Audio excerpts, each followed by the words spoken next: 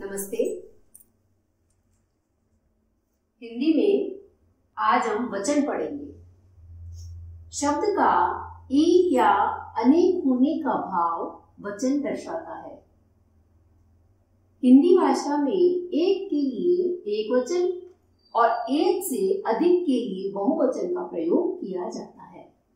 विकारी शब्दों के संख्या बोधक रूप को वचन कहते हैं।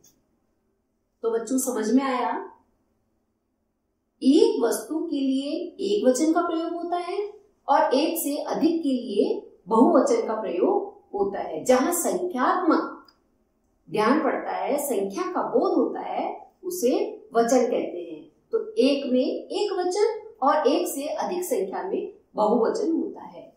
तो इस प्रकार वचन के दो प्रकार होते हैं, एक वचन और बहुवचन। एक वचन की परिभाषा देखिए।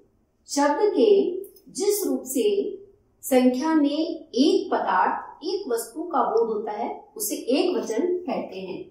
एक वचन के उदाहरण देखिए। केला, लड़का, माला, आदि।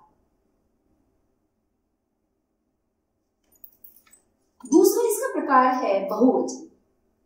एक से अधिक संख्या में वे शब्द हैं जो वस्तु का, पदार्थ का, व्यक्ति का बोध कराते हैं, उसे बहुवचन कहते हैं। जैसे, केले, लड़के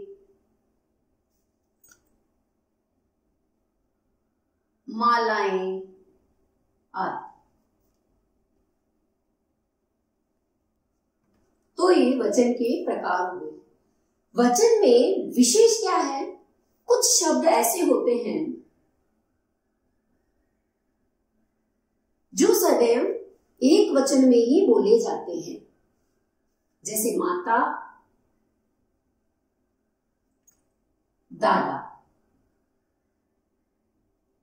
और कुछ शब्द ऐसे होते हैं जो बहुवचन में ही बोले जाते हैं। जैसे बाल, लोग, प्राण, आँसू,